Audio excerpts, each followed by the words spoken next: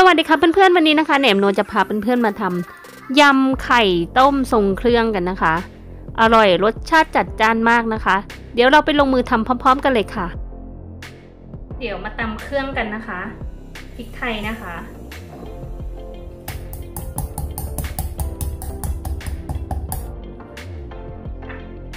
รากผักชีค่ะ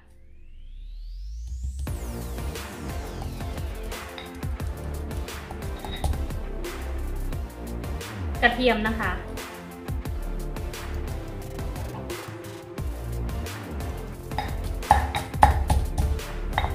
ละเอียดแล้วนะคะ เดี๋ยวเอาไปหมักหมูกันค่ะ เครื่องที่เราตำไว้นะคะ น้ำมันหอยนะคะ ซีอิ๊วขาวนะคะ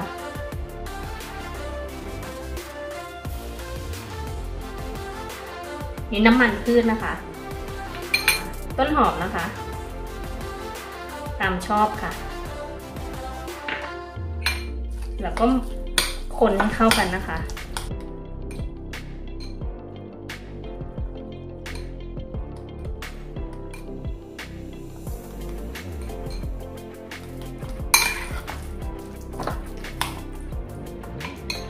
คนทุกอย่างเข้ากันแล้วนะคะ เดี๋ยวจะหมักไว้สักสิบนาทีนะคะ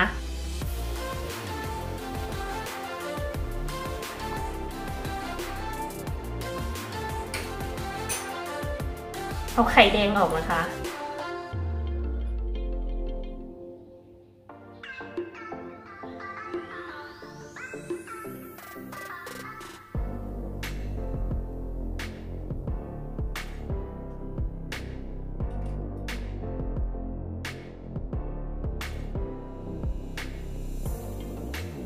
หมูหมักของเราครบสิบนาทีแล้วนะคะ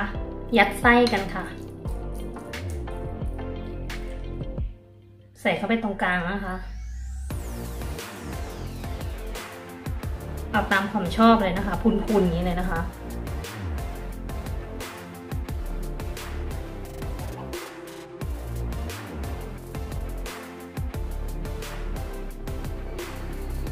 แหนมยัดไส้เสร็จหมดแล้วนะคะ เดี๋ยวเราเอาไปนึ่งกันนะคะ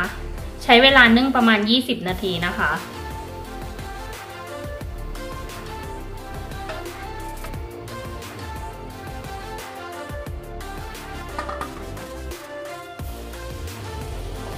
อ่าสุกแล้วนะคะ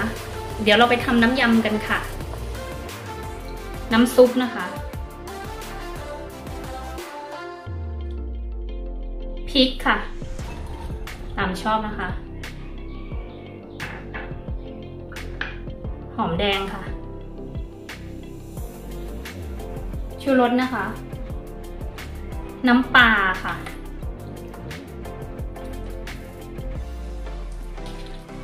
น้ำเชื่อมค่ะ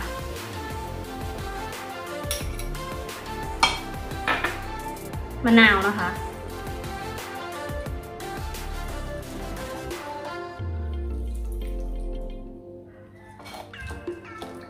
คนให้ละลายนะคะ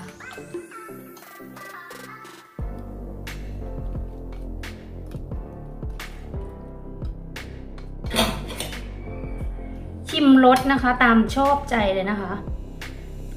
ชิมรสชาติอร่อยถูกใจแล้วนะคะ ใส่ผักชีนะคะ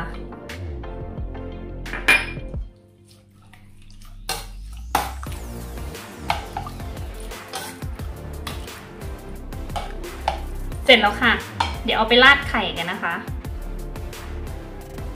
เพื่อนๆเทน้ำที่มันค้างอยู่ในถ้วยออกให้หมดด้วยนะคะ รสชาติของยำเราจะได้จัดจ้านนะคะ ราดน้ำยำลงไปเลยค่ะ